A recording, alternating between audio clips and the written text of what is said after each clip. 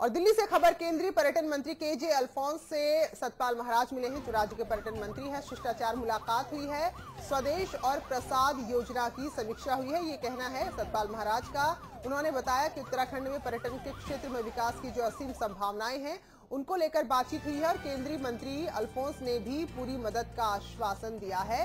सतपाल महाराज ने कहा कि अल्फोंस खुद उत्तराखंड आएँगे और यहाँ देखेंगे कि कितना स्कोप है यहाँ पर्यटन को लेकर। और साथ में ये भी कहा है, सतपाल महाराज ने खुशी ज़ाहिर करते हुए कि इस बार चारधाम यात्रा बेहद सफल रही। श्रद्धालुओं की जिस तरह से संख्या यहाँ पर बढ़ी है, उसने पुराने सभी रिकॉर्ड तोड़ दिए हैं। और साथ में ये भी कहा सतपाल महाराज ने कि प्रधानमंत्री नरेंद्र मोदी ने पहले और आखिरी दिन पूजा कर एक नया कीर्तिमान भी बनाया है।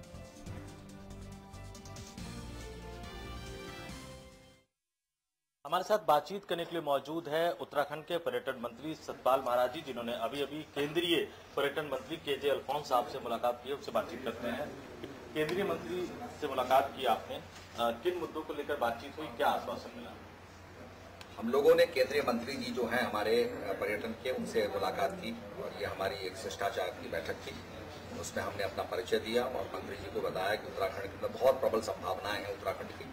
मंत्री जी ने प्रसाद योजना स्वदेश योजना की समीक्षा भी की उसमें हमारा काम ठीक पाया गया। थोड़ा सा टेहरी झील के अंदर काम स्लो चल रहा है और केदारनाथ के अंदर गति उसकी धीमी रही है। आपको मालूम ही है कि केदारनाथ के अंदर केवल समर में ही आ, काम हो सकता है। विंटर में काम नहीं होता है शीतकाल में काम नहीं होता है।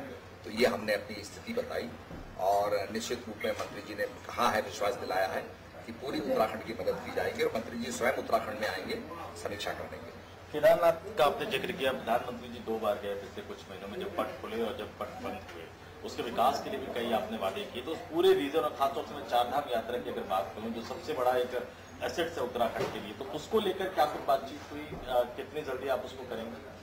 चारधाम में हमारी यात्रा बहुत ही अच्छी रही और मैं समझता हूँ सारे पुराने रिकॉर्ड तोड़े गए और 20 लाख पचपन हज़ार यात्री हमारे उत्तराखंड में आया।